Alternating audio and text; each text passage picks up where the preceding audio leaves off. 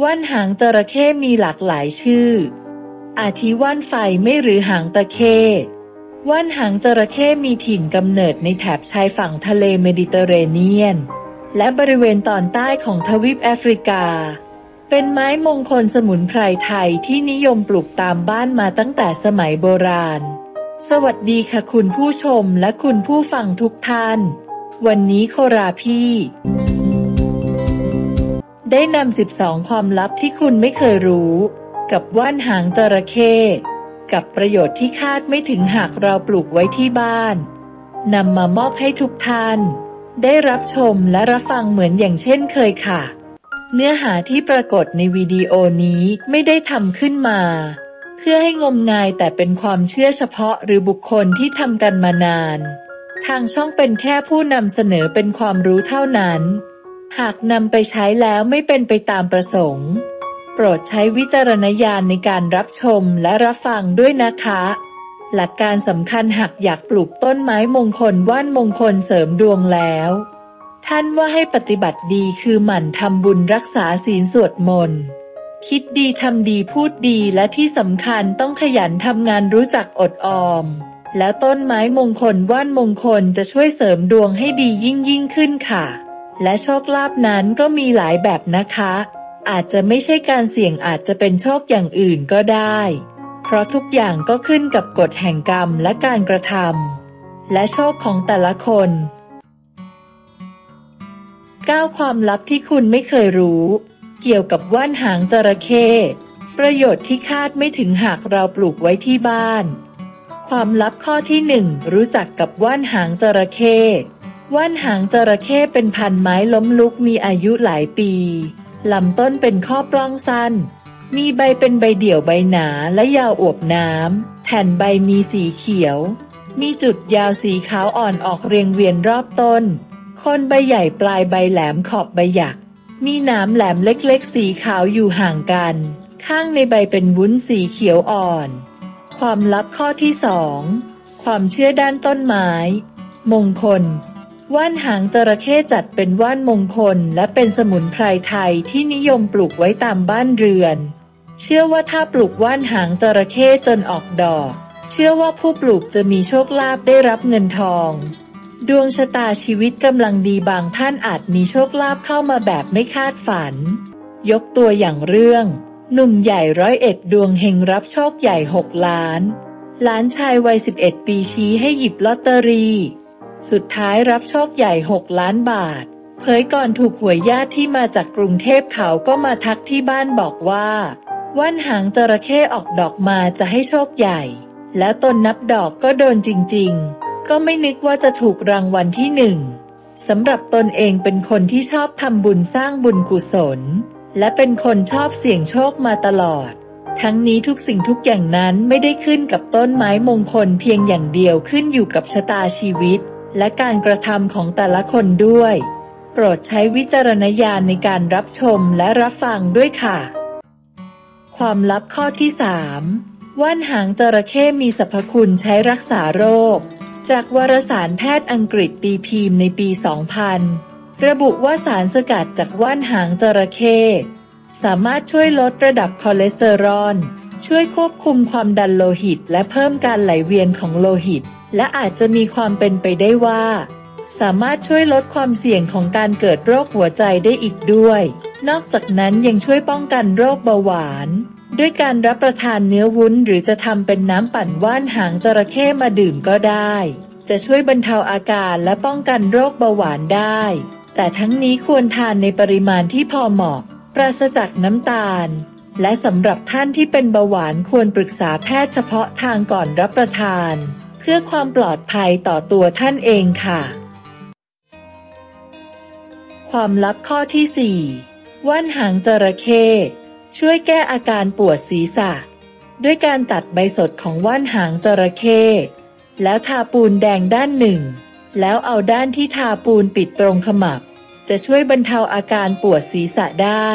ความลับข้อที่ 5 ว่านหางจระเข้ช่วยรักษาฤทธิ์สีดวงทวาร ด้วยการใช้เนื้อวุ้นจากใบ เหลาให้เป็นปลายแหลมเล็กน้อย และนำไปแช่ตู้เย็นหรือน้ำแข็งจนเนื้อแข็ง แล้วนำไปใช้เหน็บในช่องทวารหนัก ควรหมั่นทำเป็นประจำวันละ 1-2 ครั้งจนกว่าจะหาย ความลับข้อที่ 6 ในน้ำว่านหางจระเข้สามารถช่วยต่อต้านอนุมูลอิสระ ช่วยชะลอความแก่ชรา ช่วยเสริมสร้างภูมิคุ้มกันโรคได้อีกด้วย เพราะว่านหางจระเข้อุดมไปด้วยวิตามินและแร่ธาตุรวมไปถึงกรดอะมิโนอีกหลายชนิดที่จำเป็นและมีประโยชน์ต่อร่างกาย ความลับข้อที่ 7 ว่านหางจระเข้ใช้เป็นยาทาภายนอกช่วยรักษาแผลสด แผลจากของมีคมแผลที่ริมฝีปากแก้ฝี ด้วยการใช้วุ้นจากใบนำมาแปะบริเวณแผลให้มิดชิด และใช้ผ้าปิดไว้ แล้วหยอดน้ำเมือกลงตรงแผลให้ชุ่มอยู่เสมอ อีกทั้งยังมีสรรพคุณ ช่วยรักษาแผลถลอกและแผลจากการถูกครูด ให้ใช้วุ้นว่านหางจระเข้นำมาทาแผลเบาๆ ในวันแรกต้องทาบ่อยๆ จะช่วยในการสมานแผลทำให้แผลหายเร็วยิ่งขึ้น และทำให้ไม่เจ็บแผลมาก ความลับข้อที่ 8 ว่านหางจระเข้ ช่วยรักษาแผลไฟไหม้ น้ำร้อนลวก ช่วยดับพิษร้อนบรรเทาอาการปวดแสบปวดร้อนจากแผล ด้วยการใช้วุ้นจากใบสดที่ล้างน้ำสะอาด แล้วฝานบางๆนำมาทา หรือแปะไว้บริเวณแผลตลอดเวลา จะช่วยทำให้แผลหายเร็วมากขึ้น และอาจไม่เกิดรอยแผลเป็นด้วย ความลับข้อที่ 9 วุ้นว่านหางจระเข้ช่วยขจัดรอยแผลเป็น ทำให้แผลเป็นจางลง ป้องกันการเกิดรอยแผลเป็น สามารถรักษาฝ้ารักษาโรคเรื้อนกวางหรือโรคสะเก็ดเงิน ช่วยลดการตกสะเก็ดและลดอาการคันของโรคเรื้อนกวางทำให้แผลดูดีขึ้น ใบว่านหางจระเข้มีรสเย็นนำมาตำผสมกับสุราใช้พอกรักษาฝีได้ ความลับข้อที่ 10 วุ้นจากใบว่านหางจระเข้ สามารถนำมาใช้ทาเพื่อปกป้องผิวจากแสงแดด โดยใช้วุ้นจากใบนำมาทาก่อนออกแดด หรือจะใช้ใบสดก็ได้ แต่ใบสดอาจทำให้ผิวหนังแห้ง เพราะใบมีฤทธิ์ฝาด หรือหากท่านใดมีอาการผิวหนังไม่จักแสงแดด หรือไม่เกรียมจากการฉายรังสีหรือแผลเรื้อรังจากการฉายรังสี ท่านก็สามารถนำวุ้นของว่านหางจระเข้มาทาผิวบ่อยๆ ก็จะช่วยลดการอักเสบได้ค่ะ แต่ควรระวังหากทาไปนานๆ ระวังผิวแห้ง ควรผสมกับน้ำมัน baby oil เว้นแต่ว่าจะทำให้ผิวเปียกชุ่มอยู่ตลอดเวลา ความลับข้อที่ 11 วุ้นว่านหางจระเข้มีสรรพคุณเป็นยาระบายล้างสารพิษ ช่วยในการย่อยอาหารทำความสะอาดลำไส้ใหญ่ วุ้นว่านหางจระเข้มีสรรพคุณช่วยรักษาแผลในกระเพาะอาหาร ช่วยป้องกันและลดการเกิดแผลในกระเพาะขณะท้องว่าง ช่วยรักษาโรคเกี่ยวกับระบบทางเดินอาหารต่างๆ และว่านหางจระเข้ยังเป็นส่วนผสมในตำรับยาแผนโบราณ ที่ต้องการให้มีฤทธิ์เป็นยาระบายอยู่หลายตำรับ ความลับข้อที่ 12 ข้อควรระวังในการใช้ว่านหางจระเข้การเลือกใช้ใบจากต้นว่านหางจระเข้ ควรเลือกต้นที่มีอายุมากกว่าหนึ่งปีขึ้นไป และให้เลือกใบล่างสุด เพราะจะอดโตและมีวุ้น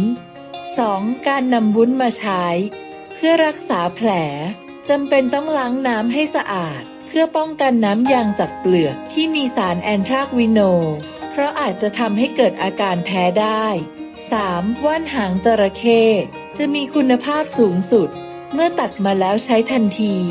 และจะมีสรรพคุณทางยาที่ดีกว่าผลิตภัณฑ์สำเร็จรูป 4. วุ้นของว่านหางจระเข้จะไม่คงตัวเท่าไหร่นะ ดังนั้นถ้าปอกแล้วจะเก็บไว้ได้เพียง 6 ชั่วโมงเท่านั้น 5. การใช้เพื่อใช้เป็นยาถ่ายยาระบาย ไม่ควรใช้กับหญิงตั้งครรภ์หรือหญิงที่กำลังจะมีประจำเดือน รวมไปถึงผู้ที่เป็นโรคฤทธิ์สีดวงทวารด้วย 6. การใช้วุ้นจากใบ พื่อใช้เป็นยาทาภายนอกสำหรับบางรายแล้วอาจจะเกิดอาการแพ้ได้ จากงานวิจัยพบว่าไม่ถึง 1%โดยลักษณะของอาการแพ้ หลังจากหรือปิดวุ้นลงบนผิวหนัง จะทำให้ผิวหนังเป็นผื่นแดงบางๆ หรืออาจมีอาการเจ็บแสบด้วย